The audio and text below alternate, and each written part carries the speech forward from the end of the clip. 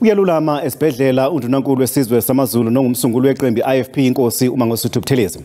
Ngokusho komndeni umntwana okwaphinda ngene ungeniswe esibhedlela namhlanje emva kokukhala ngokushaya kakhulu komfutho wegazi.